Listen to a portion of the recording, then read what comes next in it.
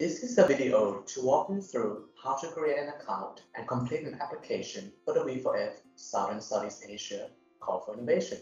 First of all, please go to the following URL address. By entering this, you will directly go to the application page for the program, which is this page. This first page gives you the basic information and what you need to know about the program.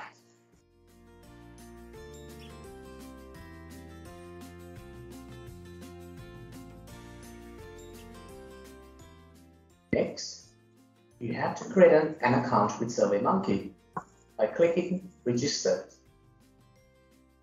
You will now need to create an account with a secure password. Confirm that you're not a robot. Create account. Continue to site. Send verification link to the email address which you registered.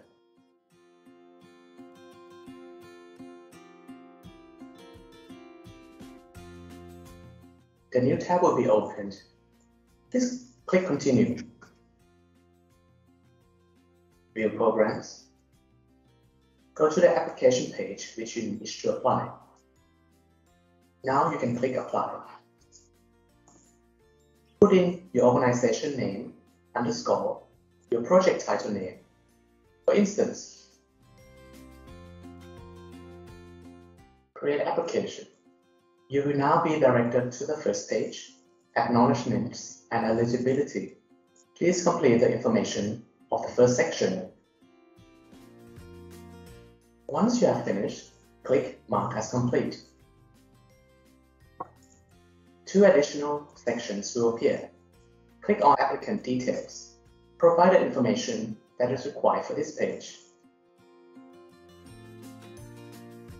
Please make sure that you answer all the mandatory questions. Once you're done with the section, click Mark as complete.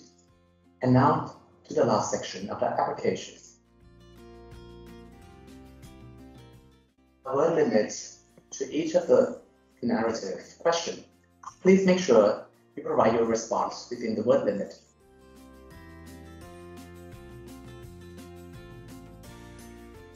Click Mark as complete once you are done. If you cannot finish your applications on that day, you can always save and review afterwards. Before submitting, if you wish to review the entire document, you can click Review.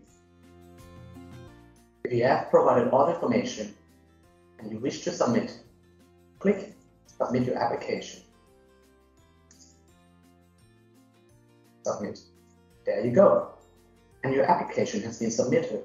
Now that you have completed your application, the next time you log into the portal, you come to this page where you can see your application being submitted. And here if you click View, you can see the information which you have provided. You can go here, Activity, to see your activity that has happened on the application.